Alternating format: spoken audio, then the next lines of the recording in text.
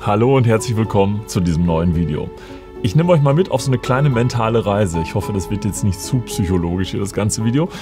Aber ich bin über ein Video gestolpert auf TikTok von Florian Hoffmeister. Der ist Kameramann für True Detective gewesen, für die neue Staffel. Und er hat eine Sache gesagt, die ich eigentlich so auch teilen kann und die mich eigentlich auch schon immer so als Filmemacher beschäftigt oder auch mich generell so in meinem normalen Leben auch beschäftigt. Nämlich er sagt folgendes, er filmt nicht in RAW, er filmt mit einer LUT, die speziell für Ari entwickelt wurde. Und diese LUT wurde eingebrannt. Ja, wenn ich heute jetzt drehe, kann ich es erstmal in RAW drehen, dann kann ich mir das ein bisschen offen halten, dann gucke ich mir das an und dann kann ich mir auf dem Weg noch 30 Mal meine Meinung ändern. Ich halte das für schlecht. Ich glaube, man muss bestimmte Sachen einfach entscheiden und dann äh, an bestimmten Punkten und dann muss man diese Entscheidung weitertragen. Finde ich spannend. Ne? Das heißt, er sagt also, er möchte ganz bewusst seine Auswahl einschränken und Entscheidungen im Vorfeld treffen und ja, dann diese Entscheidung tragen. Und ich glaube, ja, diese Aussage trifft auf vieles im Leben zu, nämlich auch fürs Filmemachen mit dem Smartphone zum Beispiel. Das ist ja auch, ich glaube, so einer der entscheidenden Gründe. Man limitiert sich auf sein Smartphone zum Filmemachen und äh, ja, hat dann nicht das ganze Zubehörgedöns und braucht sich nicht um riesige Kameras, äh, schwere Slider und sonstiges halt kümmern. Äh, ihr seht schon, worauf ich hinaus will, ne? auf das Thema weniger ist mehr und sich zu limitieren, um so ein bisschen das Maximale herauszuholen und einfach auch seine Gedanken dann frei zu bekommen. Weil wenn ich mich einmal entscheide für eine Geschichte, zum Beispiel für eine LAT, für ein Kamerasystem, filme ich mit der großen Kamera oder filme ich mit dem Smartphone. Ne? Also man trifft ganz bewusst im Vorfeld Entscheidungen und limitiert sich dann auf das, was man hat. Gilt ja auch im Marketing. Man sagt, wenn man zum Beispiel jetzt in ein Schuhgeschäft hineingeht und man sieht eine ganze Wand voller Schuhe, dann ist die Wahrscheinlichkeit kleiner, dass eine Person ein paar Schuhe kauft und zufrieden aus dem Laden geht, als wenn man nur in einen Laden geht und vielleicht nur maximal sieben Paar Schuhe sieht. Weil dann hat man eine limitierte Auswahl, man hat nicht so eine große Gedankenvielfalt, wo man sich überlegen muss, könnte es das Paar sein oder vielleicht das Paar oder doch vielleicht das ganz andere. Und dann kauft man sich ein Paar, geht aus dem Laden raus, ist im Nachhinein dann noch enttäuscht und sagt, boah, hätte ich nicht doch vielleicht lieber noch ein anderes Paar kaufen sollen. Die Auswahl war so gigantisch, mein Gehirn wurde befeuert mit allem möglichen Input und ähm, ja, dann ist man nicht so zufrieden, als wenn man ganz klar nur eine kleine Übersicht hat.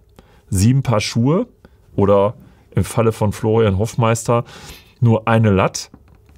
Das Ganze kann man natürlich auch so halten, dass man sagt, man hat generell vielleicht nur so fünf Lookup-Tables. Ein Lookup-Table ist übrigens, für die, die es nicht wissen, eine, ein Farblook, ein Farbprofil, welches man dann über sein Video legen kann, um einen entsprechenden Look zu bekommen. Zum Beispiel so ein Kino-Look, Orange-Teal oder so einen düsteren Joker-Look so ein bisschen mit grünlich-rötlichen Look und solche Geschichten. Also man kann einen Farblook in seine Videoaufnahmen damit reinbrennen beziehungsweise auch im Nachhinein im Color Grading dann nachbearbeiten.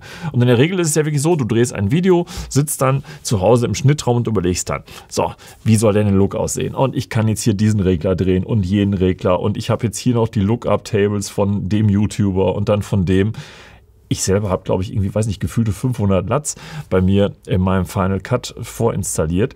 Und letztlich nehme ich doch mal die gleichen. Also überleg doch einfach vielleicht mal bei deinem nächsten Videoprojekt im Vorfeld, welchen Look du haben möchtest bei diesem Video. Und entscheide dich doch mal ganz bewusst mal im Vorfeld für einen Farblook. Und dann dreh das Video.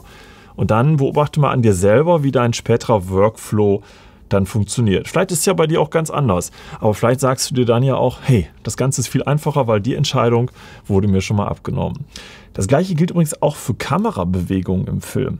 Ich sage ja immer, die Kamera muss in Bewegung sein. Von hinten nach vorne, von links nach rechts. Ne? Immer fließende Kamerabewegung, wie eigentlich in vielen typischen Hollywood-Filmen. Aber Florian Hoffmeister sagt in einem anderen Video etwas anderes. Er sagt, wenn die Kamera in Bewegung ist, muss es hierfür einen speziellen filmischen Grund geben. Wenn du die Kamera einfach nur so bewegst, dann ist es vielleicht nur so der Ausdruck der Langeweile im Bild, dass du versuchst dann zu überspielen. Wenn quasi, was du filmst, nicht gerade spannend ist, dann versuchst du so ein bisschen Spannung und Dynamik mit deiner Kamera ins Bild zu bekommen. Das ist natürlich auch ein spannender Ansatz und irgendwo hat er da auch recht. Andererseits bin ich ja immer noch so ein bisschen der Meinung, eine bewegte Kamera ist dynamischer. Aber vielleicht sollte ich mir wirklich dann auch noch, oder beziehungsweise solltest du dir dann auch noch bei deinen nächsten Videos im Vorfeld überlegen, warum machst du jetzt diese Kamerabewegung? Was ist die Motivation, die Kamera jetzt von links nach rechts zu bewegen oder nah auf einen Darsteller oder irgendwie ein Geschehen hinzu? Klar, das sieht natürlich einerseits, einerseits dann cinematisch aus, wenn die Kamera in Bewegung ist, aber vielleicht ne, hat das ja noch viel mehr Tiefe, wenn du auch der Kamerabewegung einen Grund gibst. Vielleicht wirkt das Bild ja auch mit einem statischen Shot gut. Wie ich auch in einem vorhergehenden Video dir ja schon erklärt habe, die Macht von statischen Shots. Das sind alles so die Überlegungen. Wenn du was tust, kurz hinterfragen, warum tust du das? Oder kannst du dir diese Bewegung nicht auch im Vorfeld schenken? Ja, wenn man sich bewusst für was entscheidet und im Vorfeld eine Auswahl trifft, dann ist das ganze Leben als Filmemacher oder auch so, denke ich mal, wesentlich entspannter. Und das ist tatsächlich auch so ein Punkt, jetzt wird es philosophischer, der mich so generell in meinem Leben so begleitet nicht immer mehr ist mehr. Man, wenn man sich limitiert, hat man viele Sorgen weniger und äh, man muss nicht so viele Entscheidungen treffen und man wird insgesamt, finde ich, ruhiger. Und äh, ja, also je größer die Auswahl ist, je größer die Möglichkeiten, desto so schwieriger wird das. Und, und das kannst du halt auf viele Bereiche im Leben runterbrechen. So ist der Weg als Smartphone-Filmer so eine Art, äh, ja, so ein bisschen Meditation eigentlich, weil ich bin jetzt nur selber unterwegs mit meinem Smartphone. Ich habe kein großes Zubehör, maximal vielleicht sinnvolles Smartphone-Zubehör, was ich euch in einem vorhergehenden Video ja schon gezeigt habe. Ne? Man hat einfach nur das, was man wirklich braucht. Maximale Smartphone-Halterung, die man noch auf ein Stativ setzen kann mit zwei Griffen und vielleicht noch einen entsprechenden ND-Filter davor. Den hatte ich euch in dem letzten Video gezeigt. Mit einer externen Festplatte, wenn ich dann mit meinem iPhone die Videos gleich extern aufnehmen möchte. Und ja, in diesen Käfig kann ich dann einfach mein, mein Smartphone reinstecken und fertig. Aber selbst das ist schon wieder eine Menge, wo man Entscheidungen treffen muss. Ja, würde ich jetzt wirklich auf der externen Festplatte aufnehmen? Äh, Brauche ich jetzt den ND-Filter oder was auch immer? Ne? Oder vielleicht doch lieber statt der Festplatte ein externes Mikrofon? Und das sind natürlich alle so wichtige Sachen, je nachdem, für welchen Filmauftrag du das benutzt. Aber wenn du einfach zum Beispiel auf einer Reise unterwegs bist und möchtest einfach schöne Aufnahmen machen und die dann später zusammenschneiden, dann reicht doch eigentlich auch das hier. Völlig ohne Zubehör ja, ich muss wieder erwähnen, ich dürfte das eigentlich so sagen, nicht so sagen als Geschäftsführer eines Versandhandels für Smartphone-Zubehör. Also wir bei Arktis verkaufen ja gerade Zubehör auch für Smartphone-Filmemacher. Aber die Reise geht tatsächlich dahin, finde ich, weniger ist mehr. Klar, man braucht Zubehör, zum Beispiel, wenn du außen irgendwo filmst und es ist sehr windig, dann brauchst du natürlich ein externes Mikrofon und idealerweise noch ein Windpuschel drüber und äh, vielleicht auch mal ein Stativ, vielleicht auch entsprechende Halterung. Das ist alles richtig. Aber überlege immer im Vorfeld, ob du es wirklich brauchst. Überlege wirklich, ist es wirklich wichtig? Bringt mich das voran? Macht das meine Aufnahmen besser? Und ja, werde ich dadurch besser, professioneller oder reicht im Zweifel das wenige. Und bei meinen ganzen letzten Filmprojekten, egal ob wir jetzt hier diesen Fast and Furious Trailer nachgedreht haben, da habe ich einfach nur eine Sony FX3 Kamera gehabt, kein Gimbal, kein großes Zubehör. Oder wir drehen irgendwelche Trailer nach im Stil von Top Gun. Das Ende zum Beispiel haben wir mal nachgedreht. Auch das habe ich einerseits mit einer 50.000 Euro Red-Kamera gefilmt mit riesigem Equipment und einfach andererseits mit dem Smartphone mit wenig Equipment. Und ich muss sagen, das Filmen mit dem Smartphone hat wirklich mehr Spaß gemacht, weil man nicht an so viel denken muss. Man kann einfach loslegen. Und das befreit den Kopf und, und macht tatsächlich auch glücklicher, weil man ähm, ja mit einfachen Mitteln und wenig Entscheidungen und, und man kriegt den Kopf frei und kriegt tolle Ergebnisse hin. Und äh, ja, das möchte ich dir eigentlich mit diesem Video mitgeben. Langer Rede, kurzer Sinn.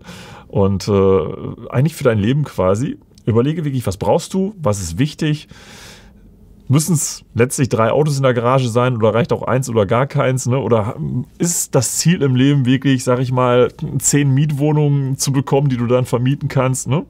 Das, das kannst du alles übertragen, weil wenn du Immobilien hast, hast du auch hier das Problem, du musst dich um die einzelnen Immobilien kümmern. Du hast ja anfallende Sanierungskosten, hier Stress mit dem Mieter. Ne? Also je mehr du letztlich hast, desto mehr Stress hast du. Und ähm, das nehme ich so jetzt für mein eigenes Leben so ein bisschen mit, dass ich mich versuche, eigentlich in allen Bereichen, so gut es geht, zu limitieren. Klar, ich habe meinen Anspruch auf gewissen Luxus, den möchte ich auch haben. Ich bin jetzt nicht der Fan von einer teuren Uhr. Maximal habe ich eine Apple Watch an der Hand, meistens aber auch tatsächlich gar keine Uhr. Und äh, ja, das ist so ein bisschen so vielleicht für euer Leben auch so ein kleiner Tipp. Egal ob jetzt für Smartphone-Film, da gilt es natürlich in erster Linie, weil dieser Kanal ist ja ein Filmemacher-Kanal. Versuche dich zu limitieren und dann hast du einfach viele Entscheidungen weniger im Kopf und es wird einfach alles viel einfacher und damit wirst du auch sehen, wirst du viel zufriedener sein. Also, dein nächstes Video drehst du vielleicht einfach nur hiermit und nicht mit dem großen Equipment. Ich hoffe, ich konnte dir was mitgeben in diesem Video. Ich sage Dankeschön fürs Zuschauen und ja, wir sehen uns bis zum nächsten Mal. Bye, euer Rainer. Ciao.